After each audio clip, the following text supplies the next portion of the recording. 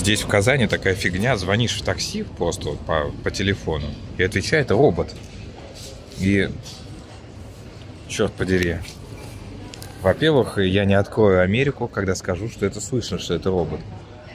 И я не открою Америку, когда скажу, что с ним путаница.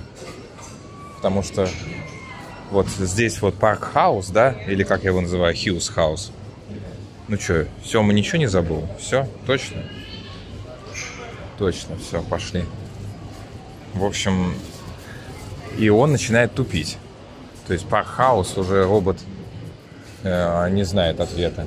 А вот у нас там выход. Ой, блин. Еда, задницы, еда, задницы.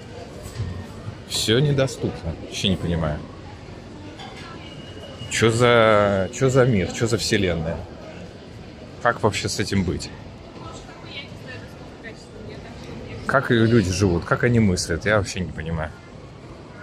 Я... Если бы не было места в этом мире, у меня бы не было YouTube канала, уверяю вас. Вон, видите, какая красотень за ерепень. А я, кстати, кофточку снял. Жарко, потому что тут. А на улице-то не жарко. Поэтому, если я хочу сидеть, ждать такси и читать книжку, надо будет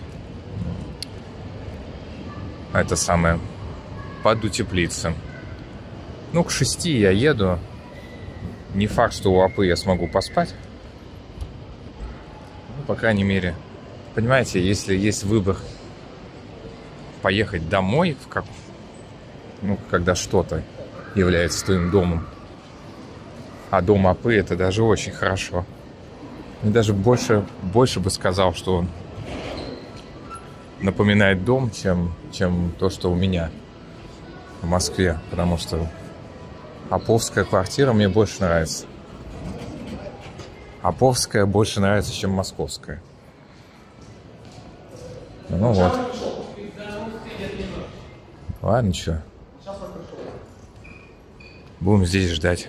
А сейчас, если кто-то будет вдруг смотреть это видео через полгода или через 10 лет, или откопает через тысячу лет фантики с, бу, с, бу, с жвачкой, осколки монет, то скажу, что сейчас обещали заморозки. О, кофе. Кофе. Как говорил агент Купер. Кофе. Кофе. Ну, по-моему, тут не молотый. Не похоже. Хотя кофемашина большая. Вот, смотрите. Кто-то очки потерял.